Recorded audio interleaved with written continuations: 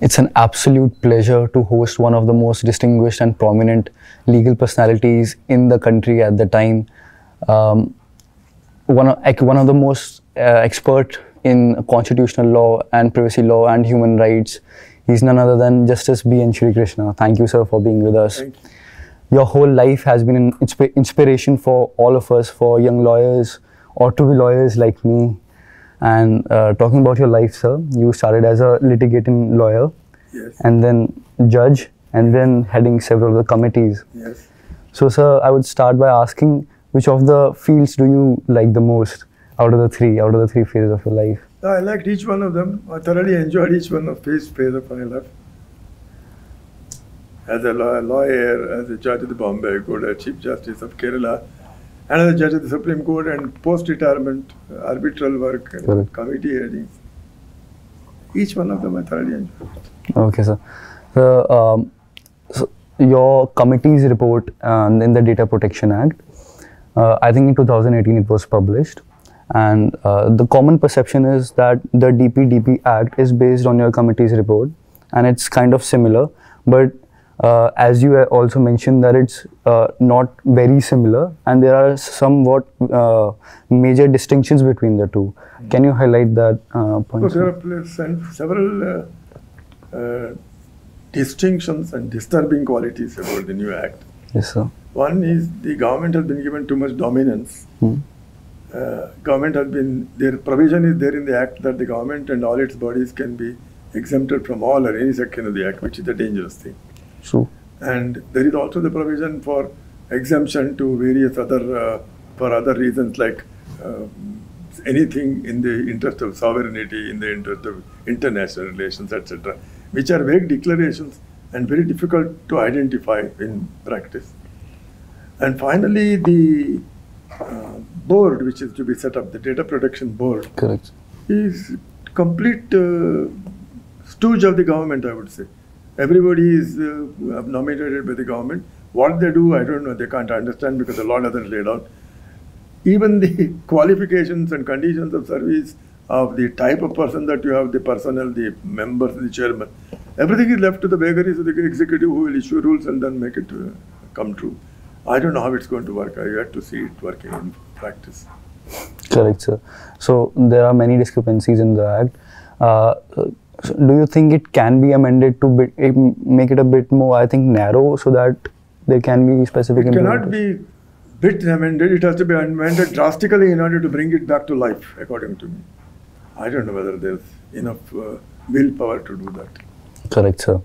Uh, so also an important aspect is in, in judiciary itself is the importance of dissent, I think, uh, dissenting judgments.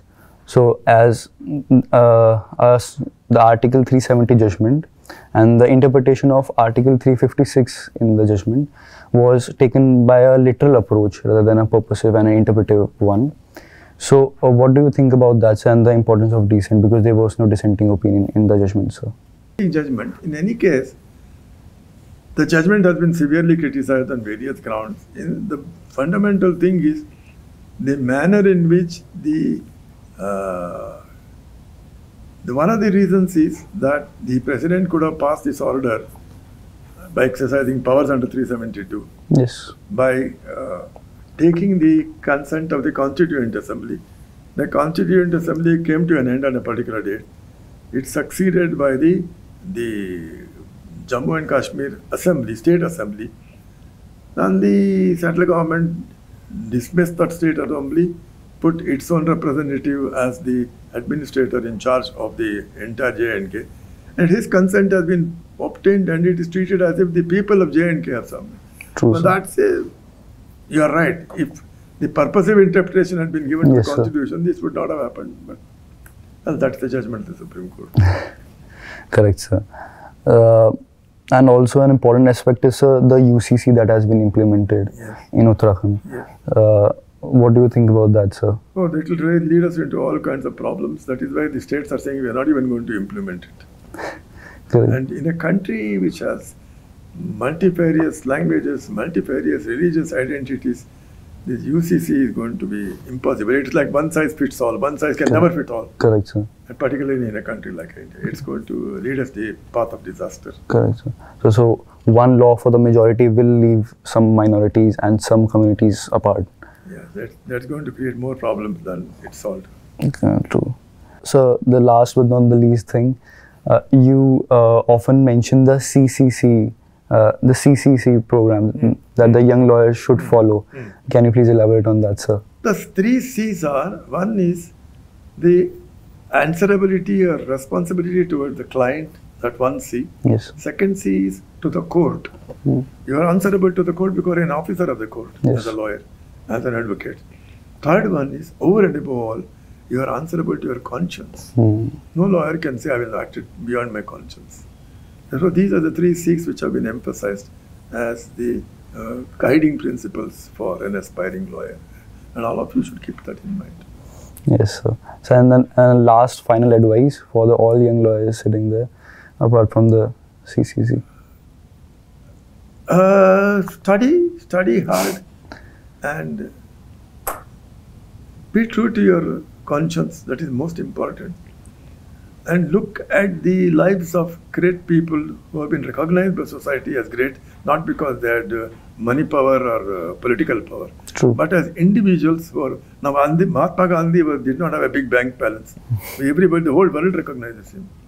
So similarly, you identify what is their good qualities, try to learn lessons from them, adapt whatever you can in your life. Even if you adopt 10% of the good qualities of a great man, you will be a great man yourself.